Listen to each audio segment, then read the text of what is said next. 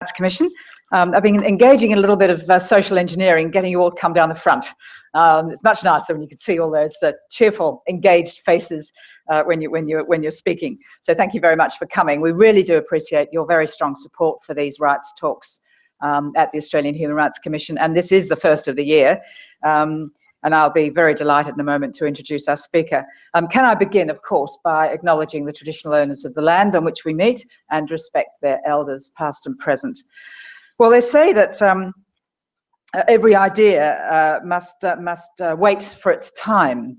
And it seems to me that this general topic of the relationship and engagement by the business community in human rights has really become a topic for the 21st century. It's actually a top priority for the Australian Human Rights Commission, and I thought I'd explain to you very briefly why it's become so important. And in a way, it's something that we've been aware of um, for much of our work. Uh, this is the 30th anniversary this year of the Australian Human Rights Commission, and as you will know, one of our primary functions is to receive um, inquiries and complaints from the, the public.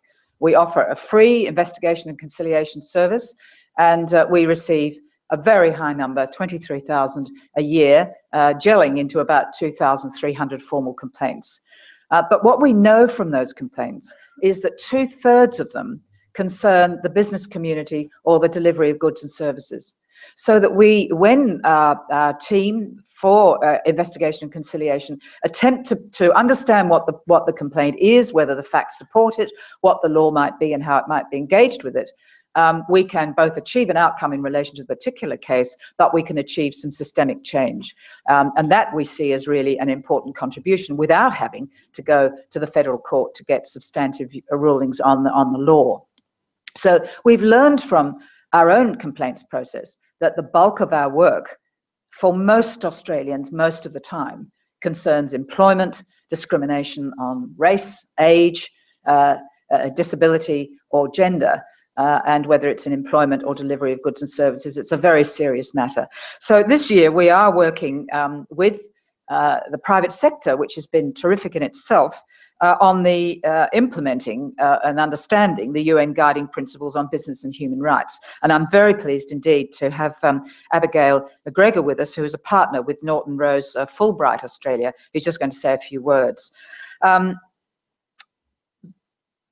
before I do that, I would like, of course, to say how really delighted I am that we have Professor Robert McCorquodale with us today. It's, it's a huge pleasure. Uh, Robert's been a, a, friend and a colleague for a few decades, rather longer than I care to think about, um, but a man who ha has been a very fine uh, public international lawyer and human rights lawyer. He was Dean of the faculty at the University of Nottingham and the Professor of International Law and a barrister at Brick uh, Court Chambers in London.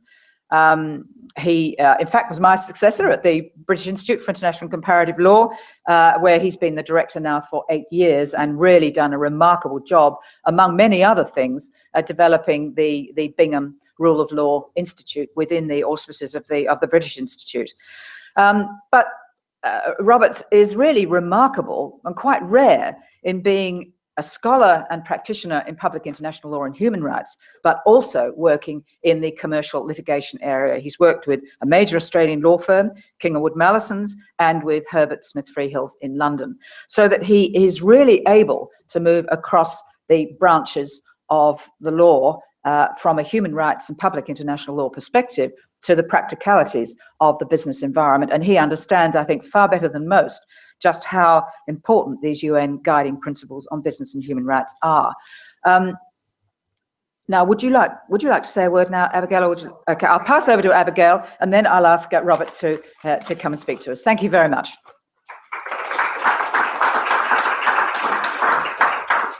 Hello, everyone. I'm Abigail McGregor. I am a partner at Norton Rose Fulbright. I lead up what we call our Business Ethics and Anti-Corruption Group, which is a global group that um, we run that looks at issues just like business and human rights. We're finding an increasing interest from our client base in relation to how to manage their human right impacts, both uh, directly and then via their supply chain. Over about the last 12 months or so, Norton Rose Fulbright have been partnering with BICL um, in order to uh, explore the concept of due diligence and um, the impact of businesses and human rights. Um, so it makes me very pleased to uh, invite in and welcome the professor here today. And I look forward to what he's going to say.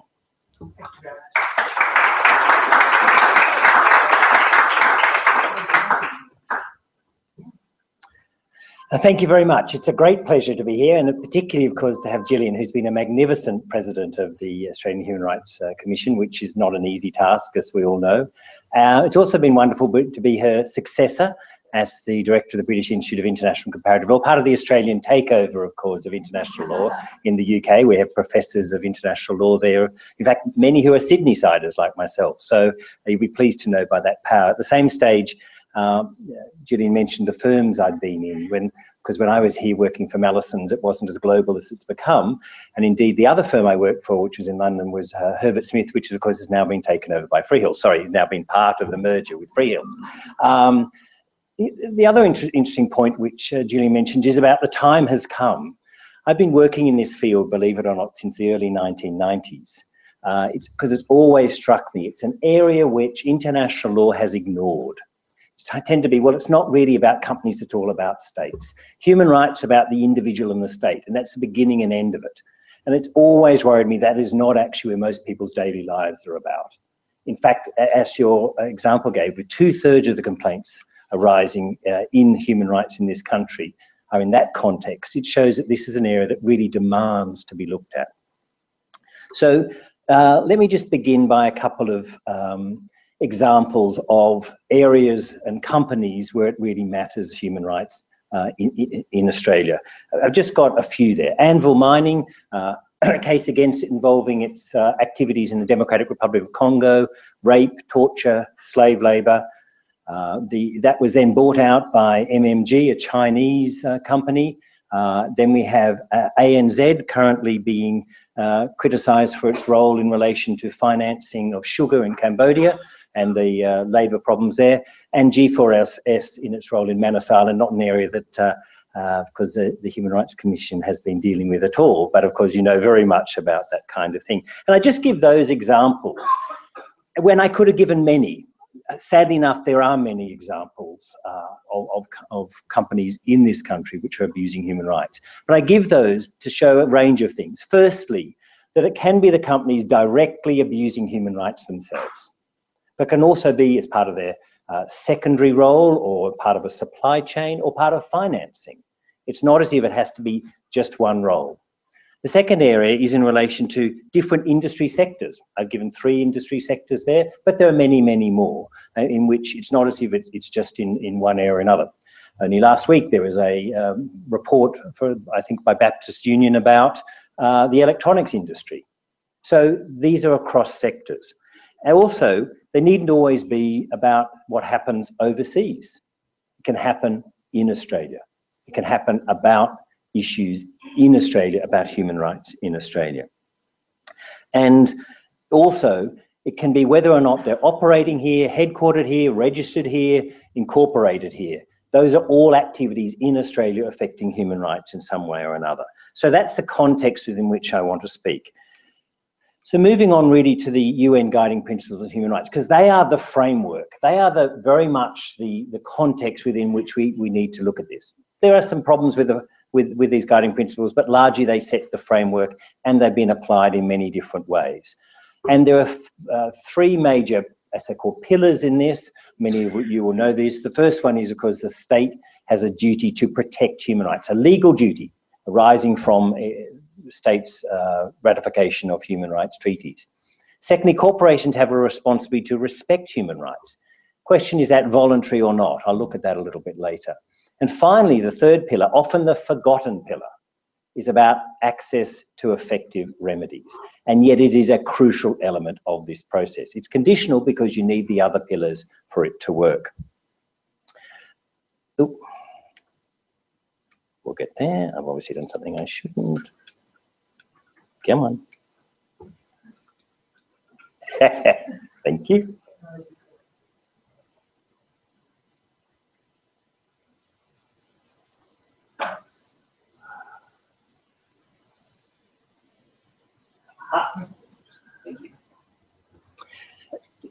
One of the, thanks very much. The, the, other important aspect is this, we're not talking about some corporations, just big ones. We're not talking about only transnational, every single company. And it can affect every single human rights. It's not a pick and choose. It's not saying some human rights matter and some don't to companies. Every single human right matters. And that's quite an important statement in terms of the context of this area. So let me just have a look at the, the first one, the state duty to protect human rights. And that's set out in Guiding Principle 1. Guiding Principle 1 says states must protect against human rights abuse within their territory and jurisdiction by third parties, including business enterprises. So it's not just about state action. Already we've made this clear statement. It's not just about what states do, it's also about uh, business. And so it's actions and emissions by state agents, but also an actor and omission by a non-state actor. I'll give you the example, G4S, I already mentioned that earlier. Arguably, they are acting simply under the power and control of the state. The state is still responsible. But actually, there's a second element. There's a big movement in private security companies in which they have their own obligations in human rights and humanitarian law.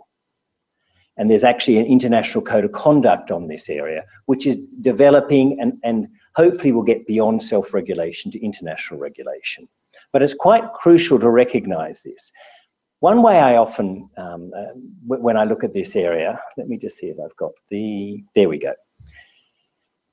Australia open for business.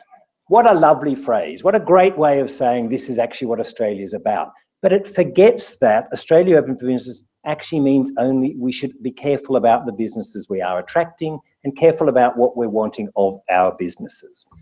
To give you an example, if you look at a trade mission today, when the Prime Minister or the, uh, one of the ministers goes overseas on a trade mission, it used to be they went with a few of the kind of public servants and a few other ministers and one or two people. Now, the latest one had 365 people, almost all of whom were companies. State is heavily involved in what then goes on. So the state can't then say, whoa, we didn't know this is what's going to happen. They've gone there and they've helped propagate that trade.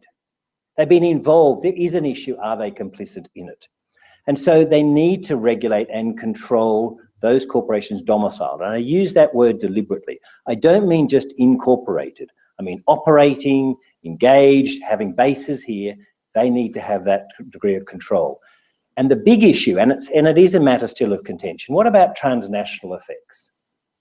Because Arguably, under good uh, public international law, a state only has control over matters within its territory or jurisdiction.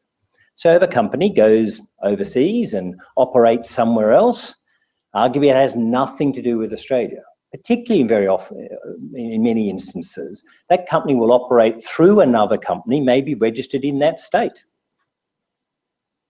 Does that mean uh, there is no sense of responsibility by the Australian state in it? I would argue there is. In the same way, there is a number of bits of legislation which Australia has introduced, sex tourism, for example, uh, consumer law, competition law. We don't somehow or other block Australia off and say competition law matters, we don't care about extraterritorial effects. So on human rights, it should be the same because human rights matter of whose ever human rights they are, not just of some who we choose to say are within our territory and some who are not. And it's certainly possible to do. Could certainly be able to, um, in financial terms, in directors' duties terms, in corporation law terms, have a responsibility on companies to report on their activities wherever they may be. It's not an impossibility. But that is nevertheless an area of quite considerable uh, discussion still within the international law framework. And what has happened is there is more and more specific legislation on this. In the UK, in France, in the US, EU has a non-national, uh, non-financial reporting directive, the Equator Principles, which are dealing with financial, uh, fund, sorry, funding for financial activities in around the world, all of which require some degree of human rights reporting or other requirements within that state. So that legislation is developing. as far as I can find, there's only one bit of legislation in the UK, and one which I'm sure you're all very, sorry, in the in Australia, one which I'm sure you're all very familiar with, the Illegal Logging Prohibition Act. I can see no recognition on that at all. it deals with supply chain. It is actually a responsibility on a company involved in, in logging to make uh, reports about its supply chain, that there is no, no illegal logging going on. So it is possible to have this type of legislation. It's not an impossibility. And yet it is very, very rare uh, in Australia. And so, whereas there's a clear state duty to uh, protect, in fact, there's very little of that happening. And yet there are other ways to do it. I often think we should look at the carrot and the stick element. Public procurement is a way, and export credit. When you engage with, when we look at uh, companies going overseas, very often they have degree of trade credits, export credits given to them to encourage it. And public procurement, you know, defence forces, government often is out there procuring. It's very possible to put in there a requirement for that company to comply with human rights. There are ways of making carrots within this process. And finally, there needs to be some degree of compliance or enforcement level, and not just left to be self-regulation. So that's a state duty. It's a clear duty, and it's for every single state. I've given examples of, of a few, but the extraordinary thing is every single state in the world has ratified at least one of the major global human rights treaties. That may sound extraordinary. I'm not saying they comply with them, but by, by ratifying, they agree there is international law requiring protection of human rights. That is an amazing step. So that's what states should do and required to do under international human rights law. But the big development is obviously in the second area, in the sense of the corporate responsibility to respect human rights. And I'm going to look at uh, two major elements of that corporate responsibility. The first one is in relation to actually what, are, what is their responsibility. It has two elements, two parts. The first in relation to avoid causing or contributing themselves by their own activities. And the second is to prevent or mitigate adverse human rights impacts caused, if you like, by a third party. And so that raises two different elements. The first one is their own responsibility is what might be called a no fault or even a strict liability. If they have caused or contributed to the human rights impact then the company is responsible. That's quite a strong statement, but that's potentially, that is the statement of the UN guiding principles. And that's even if they are not negligent. The second, oh, slightly lost some of it. In relation to third parties, there's a due diligence responsibility, a responsibility to do no harm, a responsibility in which um, it can occur, say, for example, supply contracts, the value chain, the sense to which there is a responsibility to check, to follow up, not to be negligent, negligent in this. And I think there's a sense to which that is certainly a way of putting pressure on companies. And also in relation to that, the, the terminology used to use leverage. The company should use leverage. In many instances, the companies are much more powerful than the state, much more powerful. And yet somehow or other we think they can't do it. And there's now quite an old example, but you'll probably know BHP in Bougainville. I was slightly involved with it at the time. And BHP had so much more powerful, so much more power than the Papua New Guinea government in relation to that area. That's the sense of power, and that's the sense in which leverage companies can make a difference. Some instances they can't, but in some they can. But there are these two forms of responsibility. The, the second area is in relation to actually something Abigail's already mentioned, the issue of a human rights due diligence. Now, what that means is, is that we're not talking about just corporate social responsibility. Every company just about will have a nice corporate social responsibility policy. Uh, very often uh, they might ask me in and they'll then stick on their annual report, oh, Professor Rob McCorquodale has given approval. I haven't given approval. I might have been involved in the process. But corporate social responsibility in the end is about helping the company. Whereas corporate responsibility to respect human rights is about human rights impact. They are two different things. In the end, we see, for example, a company may well, um, part of their CSR policy might help, I don't know, uh, children's playgrounds. I think that's a fabulous thing. Then we see it happens to be Nike or Adidas or one of those companies. Why are they doing children's playgrounds? Because they're potential consumers not because of human rights impacts. So you have to be careful about CSR being the same as uh, human rights. And I apologize for all the CSR people in the room when I say that. there's a, the other element is there's a difference between ordinary due diligence. Those of you who are lawyers, you know what due diligence is. One, the mergers and acquisitions, for example. One company buys another, you do due diligence. You check about debts, you check about all those kind of things. That is business due diligence risk management. Human rights due diligence is about impacts. What impacts are that company making? It could be on their own employees, fine, but it's probably on the communities, on the indigenous people, on the others who are outside the company, looking at the impact. So it's a very different vision.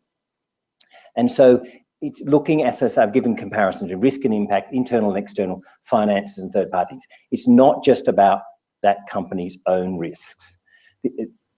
It, is possible to argue you could have a defence of human rights due diligence. Let's say, for example, your supply chain, there are various elements in it, and you put in place a code of conduct, all those kind of things, and yet there's still a human rights impact. It might be possible to say, and it's not yet been tested, there's a couple of cases which might indicate this, that a company has undertaken human rights due diligence as a defence. And I think that's where law firms here really need to be good advisors and say, actually, if you do human rights due diligence, it can in the long run help your own uh, legal case, but also your own public uh, uh, engagement in these issues. Um, the other thing to be careful is, and it's very easy this, to be a tick box exercise. Yes, I've done like health and safety. You know, I have, floors are swept regularly. You know, um, all those kind of things. It has to be about proper due diligence. I was in Sudan, for example, uh, uh, engaging with a group of, of, entrepreneurs there, and actually looking at that uh, issue and saying, well, it can't be just tick box because what if, for example, your supplier is using child labour? you can just tick, oh, well, I've got a supplier. Actually, you need to look beyond. What is the impact of that happening on your both your own risk, but also the impact on the children in the area? As part of this is a human rights impact set. We're reasonably comfortable, particularly in Australia, with environmental impact assessments, but there's not much yet human rights impact assessment. It's a developing area, still learning on it. But I think it's something which should become part of every company's learning and process, which includes consultation. Now, we're familiar with consultation, for better or worse, in relation to the Indigenous community. But in human rights due diligence, that consultation has to ha happen at a very early stage and not just rely on the host state. Why do I say that? In interesting, for example, there's a case which came out of Peru where the company says, oh, we, you know, we had nothing to do with it. The company, the, the state simply said, this is state land, you can go in there and of course go ahead and do anything you don't need to consult because it wasn't state land. It was actually the people of the community's land. So there needs to be a great deal more care sometimes in checking the actual responsibilities you have in relation to the host state. And then tracking and implementation. Not just doing a one-off exercise, not doing it once and saying, we don't need to do it again. Has to be a regular process, has to be a process too, in which there is checking whenever a major activity occurs, there's checking of that and, and uh, following through on that. And so that uh, what we it ends up doing is it's an ongoing process which gradually improves the situation. And let me just uh, give an example of the project which uh, Abigail mentioned, which you're working with Norton Rose Fulbright on. We've done a survey of 150 or so major companies around the world looking at what is their practice of human rights due diligence. We then interviewed face to face about 10% of them, asking what is their understanding of human rights due diligence. Because it's at the core of this. You need to have a human rights due diligence process. And what is interesting is, firstly, 50% don't do it at all. And 50% that do say, yes, of course we do it. We do it because we do it with our employees or we do it for health and safety. That's great, but that is not enough. It's not just about what companies do within their own um, group, within their own um, people. It also has to be other stakeholders. And it's a fascinating way of then saying, okay, how can we help? What are the issues which we can look at? And what's fascinating from this, and I can't quite give you the full details because we haven't finished the report, but what is interesting is actually there's a degree of consistency in the in how companies go about it, that actually if they do a human rights due diligence process, they actually find out potential human rights impacts, which they hadn't even thought of. They thought, oh, it's just about employees, that's all we'll look at. But when they do a human rights due diligence process, they see it's much more than that. And actually they become both better employers, but also better engagements with their engages with their community. So it's quite an interesting process in which we going to offer some kind of um, strategies, if you like, for companies looking at this kind of area, because we work very much with companies in the aim to improve their process. Yes, it'd be great if there were remedies for victims, but very often starting point should also be with the companies that they begin changing. Okay, let me then just move on to look at the last of the pillars, access uh, to, to uh, remedies. And this, of course, is a crucial part um, because very often that this is some, very often this is the way that actually uh, change will occur. And there's two forms, both in terms of the state's activity, must have judicial and non-judicial, but also business itself must have effective grievance mechanisms. Now, so in terms of state action, there needs to be courts and tribunals in place to be able to deal with these issues. Now, that's of course a great difficulty when you don't have uh, human rights in legislation, as happens in most other parts of the world. That doesn't mean you give up. Obviously, there's the Commission here is an enormous and important role. There's also the OECD guidelines on multinational enterprises, of which Australia is a part, which is a national contact point. I wonder how many of you even knew of this. That's great, except the national contact point is in the Treasury in Canberra, not independent. It is part of the Treasury. How much confidence can one have in a body which is meant to review a complaint against a company when Australia is open for business?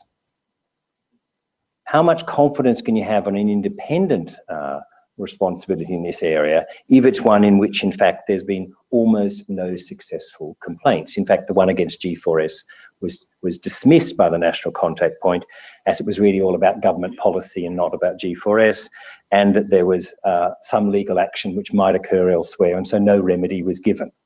So it's a real problem if those national contact points aren't more energetic and more engaged. And that criticism I make of national contact points around the world, uh, um, Australia is not unique in this.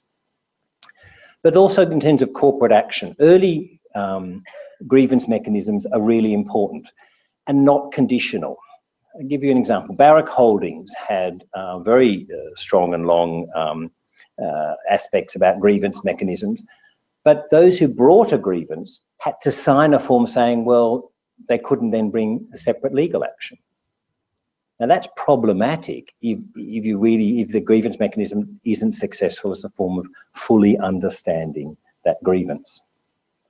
So nevertheless, that is an area I think of development which hasn't really been explored very much, but it is a way, I think, if companies did this, often it would lead to a lot less human rights uh, complaints happening later.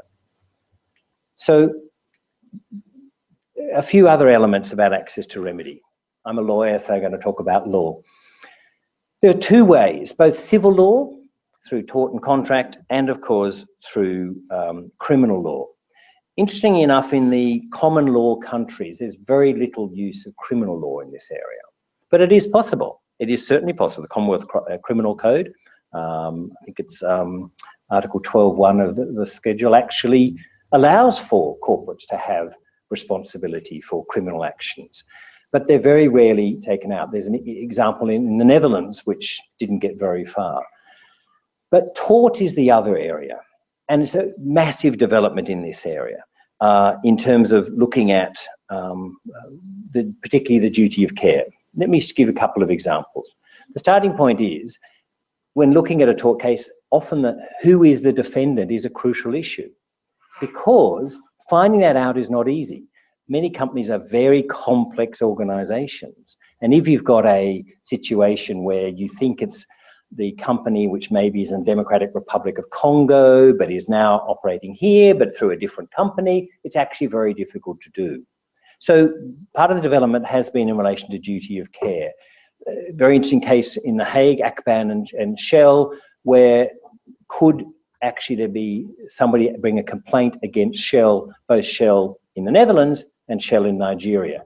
And the, uh, the Dutch court said yes, it is possible to sue both if it's evident that the company, the, the, the, the, um, parent company is controlling the particular issue. And an excellent example of that is the case of Chandler and Cape, a recent decision in the, uh, uh, uh the Court of Appeal of the UK, where they held that where a company, in this case it was about asbestos, the company really knew what was going on, the head parent company, they couldn't say it's not our duty of care. But what you're doing is you're leapfrogging really the subsidiary to look at the parent company's responsibilities. So it's not always easy to do, particularly when, I mean, after all, we, as we know in basic company law, the idea is that companies um, you know, have their kind of shield. You know, the sense of veil of incorporation means that you can't jump one to the other. But the courts are beginning to recognize, and what's fascinating in this, the terminology used in the UN Guiding Principles is a business enterprise. It's not corporation, it's not parent and subsidiary, it's not joint venture, because there are so many types of engagement of parent of, of, of corporations. And that I think the courts need to begin to be alert to this and not pretend that actually a, a, a company which is controlling, let's say, you know, the whole of the determination of recruitment, for example, from the headquarters, they have a responsibility then of what happens on the ground, let's say if there's discrimination. Um, the other area uh, in relation to this is actually it's very, very hard. It's not easy to bring a case, hard to get evidence, hard, hard to in terms of legal costs. So it's not an easy area. Um, and then there's two areas. There's a claim in the host state itself, the state where the human rights ha has been breached often has runs into because there's a lack of a rule of law, lack of independent judiciary. And yet we find in many home states, they say, it's forum non-conveniens. You can't come to us. You should sort it out elsewhere. You should somehow or other find a judge who's independent in the Democratic Republic of Congo or pick another country and sort it out there. That is simply a very poor legal argument today and being completely abandoned in the European Union. Across the whole European Union, you cannot use forum non-conveniens anymore because they realize it's a very false argument. But it still exists in this country, still exists in Canada, but it's a very poor argument where people actually cannot get remedies in their home countries. There's also the element, as you probably know from private international, what's the applicable law? Just because the case may be brought in Australia doesn't mean the tort responsibility is going to be the same as in Australia. It happens in Cambodia. It doesn't necessarily mean the relevant law will be Australian law. It may well be Cambodian law about responsibility. So these are areas which require enormous thinking, enormous innovative ideas by those in law firms, by those in uh, civil society and elsewhere. The other major development in this area is, of course, the Kiobel case, which you're probably aware of, where the Supreme Court of the US, looking at the Alien Tort Claims Act, uh, held that there's a presumption against extraterritoriality. Led to a lot of uh, depression by my colleagues in the, in the US. I'm not as depressed. I just think there was always a slightly strange act, um, this area. It doesn't mean there aren't still tort claims which are able to be brought. And there will be some cases where, in fact, it'll still be applicable. But if you like, it show, can often show the limits of specific legislation. Um, the other point just to make on this uh, really is part of my concern about a lot of these developments, particularly in tort law, is how they have to be pleaded. I'll give you an example, a case called Monterrico, which is in relation to northern Peru copper mining. Um, people were raped, were tortured, were detained, the case is brought in in, in terms of tort law, of negligence, of um, they don't mention human rights as a claim. Why not? Because that's not actually how tort is pleaded, which can be very difficult for the community if you have to argue in language which is not human rights language. But just if you like to raise that as, as an issue. Okay, having set the scene, what are some of the ways forward? Oh, done it again. Ah, hey. Um, so what are some of the ways forward? Well, uh, let me think about the, the, the state itself. What is the role of, of states? Well, partly is to bring in much more regulation, much more practices and more incentives, and to support the expectations of many in the community that there needs to be some regulation of business activity without harming business activity. Indeed, in many instances, it can be really good for a company if they can show they are actively protecting human rights. After all, you know, the area of ethics and corruption is an area where companies say, listen, we aren't doing this. Actually, they can get the contract because actually they are much more appealing as a potential investor. in relation to one other area, should there be a treaty on this? I've been involved in the issue of treaty, I'm to some extent giving sort of advice to Ecuador on this. Um, really just saying what are the international legal principles? And if I can say within these walls, I'm not necessarily convinced there should be a treaty, partly because states don't comply with their human rights obligations, are they necessarily going to comply with a new treaty? I think if they made the brave step and made corporations directly responsible, that would be a groundbreaking move. So we'll see. But that very early stages of whether this will occur or not. But I think what we, we need to recognise is that states need to take action. They need to regulate. Why? Because whenever I talk to companies, they say, yes, we can do some self-regulation, but actually it really helps us if we know what the position is. The, the big changes, for example, in, in, in a range of different uh, areas, uh, for example, the UK has the Modern Slavery Act, has, has Bribery uh, Act, both of which set clear parameters, which then companies know what they're meant to do. So Ruggie is right. Government shouldn't assume they're helping business by doing nothing. That does not help business. Clarity does. And I think governments need to hear that action, hear that much louder, because I think companies are otherwise left in this uncertainty where they're getting hammered often by the media, by civil society, and saying, well, we don't know what we're meant to do. In relation to um, uh, corporate practices, well, companies look at risk. Risk is their main engagement, risk, risk management. But there are real risks in relation to this area. There are financial risks, there are operational risks. If, if the uh, anvil mining stops mining, then they are losing a lot of income. There are reputational risks, serious reputational risks. And of course, there are legal risks, action against them. There's also, of course, external and internal pressure. When I first began doing this, as I said, in the early 1990s, it was with, with a big mining company and they were aware they were not attracting good employees. People did not want to work for them. Why? Because of their human rights and environmental abuses. So there's internal and external pressure. And I rather love this uh, quote from the then Nike CEO. We do not like the fact that Nike product has become synonymous with slave wages, forced overtime, and arbitrary abuse. And in a way, that's that's the difficulty that if they do if they don't take any action if they're not giving the legal advice if they're not aware of these issues that's the risk that they can run it's it's not perfect because companies which have a consumer um, engagement will have much more pressure. But if you make, I don't know, this microphone, people aren't going to go out in the street and refuse to buy the microphone. So we have to be careful not only to be consumer focused, but actually put regulation for all. And the other point I want to make is that actually companies are beginning to do this more and more. Most companies are beginning to follow some codes of conduct, some kind of method of, of, of doing this. That has positives and negatives. There's a couple of interesting recent Canadian cases, one called Choc and Hudbay and one called Joe Fresh, both of which there was a code of conduct. Joe Fresh, for example, is about the Rana Plaza, the Bangladesh garment industry, which um, uh, led to a huge collapse and, and deaths in, of, of buildings uh, in, in uh, Bangladesh. And the issue is, well, what about their supply chains? They said, we have a code of conduct, but if it's voluntary and it's not monitored, you're not actually following through on your responsibilities in this area. There's a recent one, the Singapore banks are beginning to say this. And inter interestingly enough, part of the reason for that is the Indonesian haze, that actually there's a consequence of if you, if you leave unregulated what co corporations do, you can have consequences in the region. Um, the other thing is just companies are aware that what is soft law can become hard law. What was you shouldn't do bribery and corruption becomes hard law, an, a bribery act. The uh, American um, uh, acts also, uh, legislation also in this area. So there is this movement. And I think if we are good lawyers, we begin to be alert to that and put that up front and not just say, well, the law is where it's at and we're not going to look any further.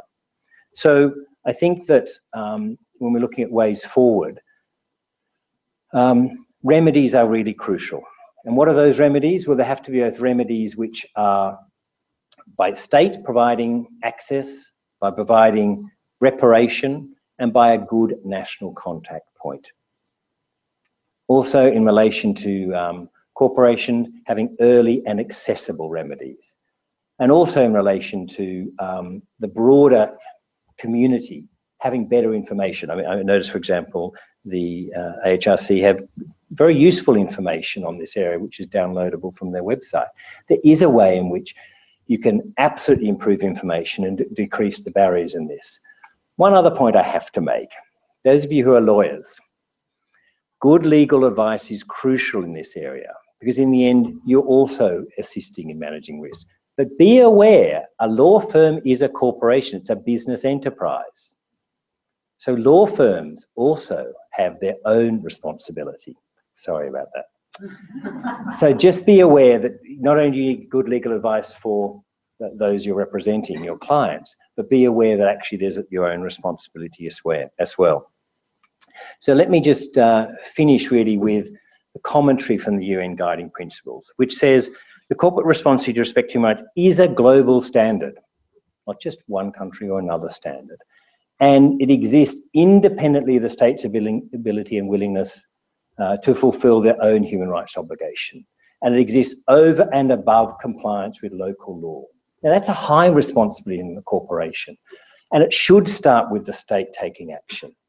But in the absence of the state, the corporation still has this responsibility to respect human rights. And that responsibility, although starting off as being voluntary, is becoming less and less voluntary and more and more moving towards compliance. And, and we, some extent, we in this room, can make that difference. Thank you.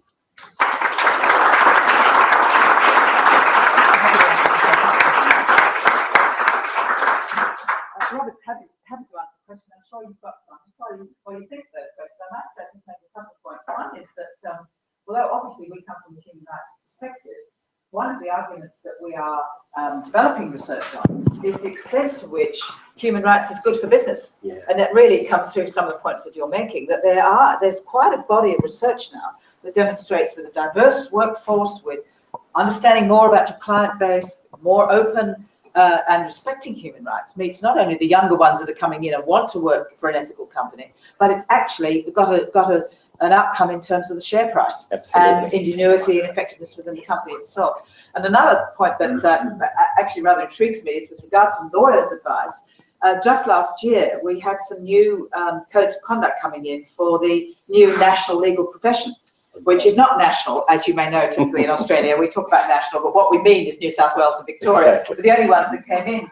But there is an obligation now in the Code of Conduct uh, that they must act uh, ethically, uh, but they must also act in, by reference to human rights to be defined by the Australian Human Rights Commission. Oh, brilliant. We were not consulted about this, I was, uh, I was uh, rather intrigued. Uh, so we know, Lord knows how it's actually going to work out in practice, but, um, but I think your point is an important one. Lawyers play a very important role in this. But, but perhaps I'll start off with a, with a question, if I may, and that is I've never been quite sure about this. If you say it's a voluntary code of conduct, a code of ethics, um, it, it has to be more if we talk about remedies as you've done. In other words, to have a remedy, you've got to have an obligation. So really, we're, we're moving away from something which is essentially a voluntary ethical code, but something which is grounded in law, where there, a remedy must be provided, but where the mechanism to achieve that remedy is, is going to vary depending on whether it's tort law or criminal law or, or whatever it is, alien tort claims legislation or whatever. It's fascinating Mm. uh, that we haven't really got a, a clear way forward to determining what the legal obligation is in order to determine the remedy. Well, I think uh, one of the way that John Ruggie tried to get companies on board, on board was to say, oh, it is voluntary and somehow we'll work out the remedy. But you're quite right. It, it's incoherent to say you have a remedy without actually having a responsibility which is legally um, uh, crafted. Part of his argument was the grievance mechanism part is a remedy, but my view is often that isn't a remedy. It's a very much a holding pattern, or it's useful for employees, but completely inapplicable for a community which have been pushed off their land. So he, he used that to get companies on board, but I think in fact what's happening is it's moving away from that voluntary.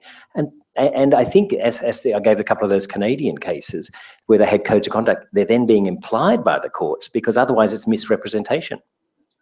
Now it's the questions. Yes, uh, the gentleman in the- in the- Uh, Could, could you, do you mind telling us uh, Sure. who you are and, Yes. um, and preface your question? Okay, John Della. Um, I'm from the Falun Association. Um, many of you might know there's been a Senate Economics uh, Review inquiry into the um, Foreign Investment Review Board um, practices. Um, something that I've been involved with others is looking at the uh, state-owned enterprises of China. Uh, because as many of you know, the, the uh, Communist Party appoints the senior officials. They're not general board of directors, um, as we might expect in a Western corporation. So the, the interesting thing from our point of view is that Falun Gong practitioners have been persecuted through a lot of those state-owned enterprises in China. And uh, those same state-owned enterprises are being, uh, there's one listed on the Australian Stock Exchange, and they're also, um, you know, seeking to invest here. And the Foreign Investment Review Board procedure, I think it just um, has that recommendation for following OECD guidelines, which um, requires um, the enterprises to recognise the Universal Declaration of Human Rights. So, do you have any feedback on what more the uh, Foreign Investment Review Board could do to assess these uh, state-owned enterprises? It's a very good question. Interestingly enough, the um, UN guiding principles do expressly deal with state-owned enterprises, and they say state-owned enterprises fall largely within the state duty to protect human rights. And so it's actually a China, in that instance, a Chinese government obligation to comply with, with human rights. So there is already that. Of course, they tend to operate as if they aren't state-owned, but in strict kind of application of the guiding principles, they, the, the state China, if they're in control of this organization, they must uh, comply with, with human rights under the UN guiding principles. Having said that, I, I've um, have had a student who's working a little bit on the variety of state-owned enterprise in China, and there are many. They have all a whole range of different degrees of effective control, and that can be very difficult then to work out the extent to which actually the Chinese government really has control of that. And if they don't, then they fall in the second pillar of corporate responsibility to respect. So it's not as if they fall outside the system by any means. Yes. Amy Sinclair, Australian Lawyers for Human Rights. Um, in the last few months, we are increasingly seeing moves in Australia, um, momentum gathering around the development of a national um, action plan on Great. business and human rights. Um, and I'm interested in your view on NAPs and their role and efficacy um, within the business and human rights agenda, and particularly in terms of driving uptake of the UN guiding principles. That, that's a, a very interesting development that um, all states are meant to introduce a national action plan on business and human rights. In fact, only about, I think it's eight or so have done so to date. Uh, and uh, Australia is way behind on development compared to some other states. I've been a bit, bit, involved both in the UK and in Ireland in dealing with the issue of a national action plan. The, the, the main purpose has so far been of these national, national action plans is changing expectations on, on companies, partly doing what Gillian talked about, saying to companies, actually, there is a good business reason to protect human rights and stating that up front. And I think that is an important part of the process. But this, the, the other part, which has been very weak in, in, in terms of all the national action plans, is putting in place remedies. Uh, in the UK, for example, the, um, the, there is really no new remedy provided other than the Corporations Act, which the companies need to report on this, and reporting can be very weak. Um, though what it's meant is when new legislation comes, across, comes, comes involved, such as the Modern Slavery Act, which only came to, into existence last year in the UK, there was able to, civil society groups were able to insert within that corporate responsibility in relation to this area because the National Action Plan gave them impetus to do it. In Ireland, it was a very different case because Ireland is attract, trying to attract business by having very low corporate rates but, um, of, of, taxation. So they don't actually want to put in place some kind of um, uh, requirement on companies to comply with human rights. So they're in this very different kind of um, balance. I'm involved in the Indonesian process in relation to the National Action Plan.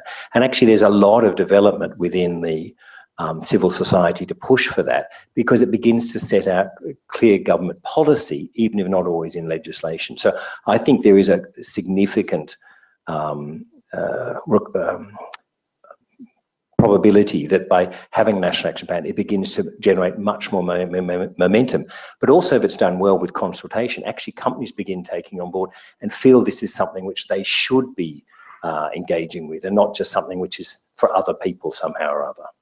So I, I think it, it's worthwhile keeping on pressing on that. Yes, this lady over here. having a lot from this side and then nothing from this side. I had to work on that. Hi, um, I'm Vam. I'm a student. Um, I was just wondering, like, how do we make sure that like supply and chain auditing actually results in harm minimization? Because um, just refusing to like contract with a company that has like human, like child labor or something, um, could probably result in that child like floating from a textile industry to like a sex slave, you know, sort of thing. So how do we actually make sure that we're helping?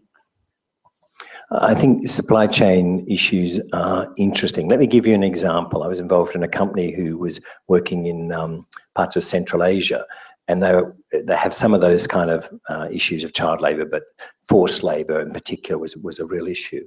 Um, and what they've decided was they would disinvest.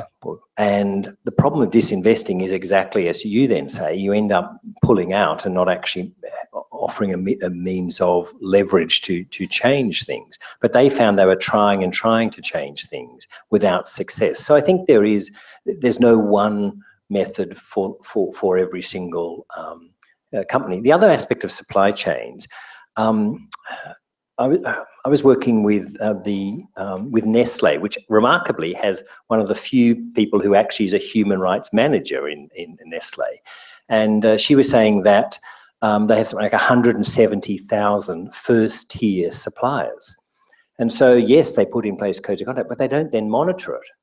And that's part of the problem is there's no monitoring of that. You can have a code of conduct, might even say if you breach human rights, then this contract is ended. It strikes me that is not the right way forward, that you need to have, if you put in place monitoring, you can then put in place assistance rather than just either disinvesting or cancelling the contract. So I think it's a, a more nuanced response than one or the other to try and improve this area. Oh, Yolanda Vega from the Australian Women's Chamber of Commerce. Just as a continuation of that question, We've seen lots of reports. Oh, thank you. Could you, could you repeat again? Yep, sorry, Yolanda Vega um, with the Australian Women's Chamber of Commerce and Industry. As a continuation of that comment and the question from um, the student, we're seeing a lot of reports now about modern slavery. You've you've mentioned Nike. We've seen Four Corners um, reports about Apple and a variety of other companies. Considering these supply chain issues, are the concern of everybody. And considering it's the majority women and children that are being abused and used as slaves, and on the other hand, considering that in first world or you know um, first world economies, developed economies, it is women that are the biggest buyers and consumers, and yet we're the ones that are you know mainly concerned. How do we bring that point together? How do we educate the buyers that we're actually abusing or using slavery when we buy that $5 t shirt or when we're buying the Cadbury's chocolates of the world because everybody seems to be concerned about it. But I'm hoping that you can give us a remedy because we've been advocating about, you know, including women in supply chains and stopping slavery amongst women, but we're not getting very far, Professor. Um, you, you make a very fair point. I guess I'd come at it from a couple of things. Firstly, It'll only work for companies who have a consumer good, like the, the, the, the $5 t-shirts. If you're supplying things which doing just as much damage, but we're not actually seeing it in our consumer, then the consumer's not going to respond. But the, but the second point is the consumers are very fickle. They did fascinating surveys on when will a consumer make an ethical choice. And you ask them before they go shopping, then when they go shopping, oh, that's a cheap T-shirt, I'll buy that. You, we, we all tend to do it. We tend to throw out that. That's why I think the, the way forward has to be requirement in legislation of companies to report.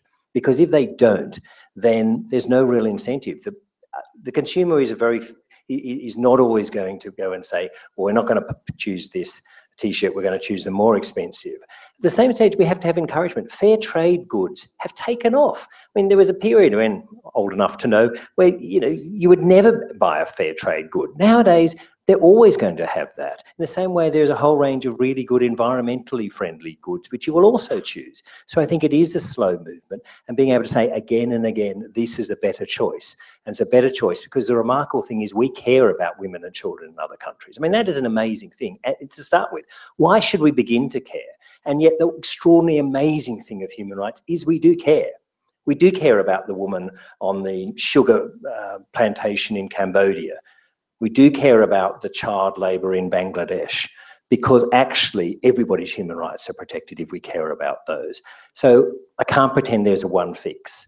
But I think it can't be just consumer pressure and it can't be uh, just leaving it to the corporations. There also needs to be regulation, which will be pushed by consumer pressure. I mean, the Modern Slavery Act in the UK came out of actually civil society pressure saying we can't just pick and choose. The Rana Plaza example was a garment sector which do supply, you know, $5 t-shirts. And they said, that is not enough. We need to make sure that companies are reporting on that there's nothing down their supply chain which is any form of slavery. So keep pressing on that. I think one last question, or perhaps two, and then we're then we must finish because we do like to finish on time if we can at these lunchtime events. Uh, Professor, you've spoken about tort law and contract law, but you haven't really touched upon directors' duties and corporate law. Could you give us your thoughts on the impact that can have in this area? Um, sure. I mean, Interestingly enough, in South Africa, there is now a requirement under the South African company law for all uh, companies to report on social impacts. Now, that of course comes out of a heritage in, in South Africa of long-term discrimination. Uh, there's a something in Italian company law, there's something now in the UK company law, uh, which requires um, companies to report on their process of um, uh, social and environmental activity. So I think in terms of directors' duties, it's, it's a very weak process at the moment of you, you need to report. I think it's completely feasible to move to a position where part of a director's duty is and includes consideration of human rights matters. It wouldn't be an impossibility for that to be part of a director's duty. Uh, and I think that will be where it'll move to. And that would be a very powerful way. I mentioned about the Singaporean banks. The Singapore Stock Exchange is also thinking of bringing in some requirements like this. And I think if stock exchanges and corporate law began working together, actually would make massive changes relatively simply, but being governed by the recognition that in the end, the stakeholders, the shareholders actually want to hear this information why? Because it actually makes a difference on the share price. If you know what's happening, you know, in the company, that they can't just pretend that everything is fine when actually there's this huge uh, human rights due diligence which has not been done and could well affect the company. Last question there. Uh, my name's Robbie Magyar. I'm from the National Union of Students. Um, so coming from a completely different side to this, the advocacy side. So we see education as a fundamental human right, and it is prescribed as such. Um, but in Australia, education is treated like a marketable business um, with profits um, being at the centre of what universities often do, um, particularly when it comes to international students. One area we're trying to see this change is with the price of textbooks and seeing the repeal of parallel import restrictions so we can import identical content from overseas to Australia. But the problem with this is we're faced with a contention of human rights. We have the contention of, you know, it drives down prices for students and education becomes more accessible. But then we're potentially causing issues overseas with uh, slave wages um, and poor working conditions for those who will be ultimately printing our textbooks. How do you go about um, ad advocating for change in one area for one human right when it potentially is in contention with another? Oh, that's a, I don't pretend to have one easy answer. The, the starting point is that human rights do interact with each other. There's no priority between human rights. Um, you know, just as important to have access to water as it is to have freedom of expression. There's no priority between one human right and another. That doesn't mean they don't often interact. Rarely are they in conflict rarely is actually one human rights in conflict directly with another. In relation to the kind of issue which, which, which you're uh, exploring, it's almost the same kind of question was asked about supply chains, looking at what happens and your means of leverage to make sure actually the books that you are receiving are not ones produced in, in a environment which actually you feel are abusing women, children, or whatever. So I think actually that's quite an important statement, which could well, to come back to your point, actually affect the student consumers to think about the books that they're getting or think about the consequence of the books that maybe they're then um, sending elsewhere. And actually part of that is raising the uh, awareness of this issue really is quite crucial in a way that's why I give these talks because actually the awareness needs to be raised at so many levels, at government level, at corporate level, at consumer level and at students and, and as us as ordinary people in our engagement, thinking that actually these human rights matter. And it's not just about what governments do, but it's also what corporations do. Because in most people's daily lives around the world, particularly in, in developing countries, their main engagement is going to be much more with a corporate um, body or a community body than they are going to have the state. The state will often be very, very distant. So actually we make a change here and we say, actually, companies have human rights obligations.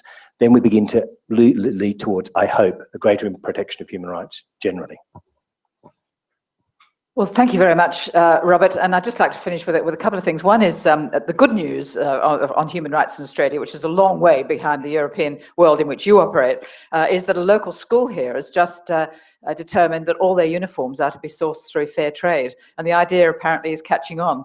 Um, and the other is I'm reminded, I don't know that it's still the case, but the Nike slogan, slogan used to be just do it well, now you can't just do it. You've got to think about the consequences of, of what you do. Um, so it's a huge pleasure to have you um, bringing in this uh, the, really a very sophisticated discussion that we're not having really in Australia as we should. And uh, your leadership's uh, uh, great in, in bringing it to all our attention. So thank you very much. And please join me and thank you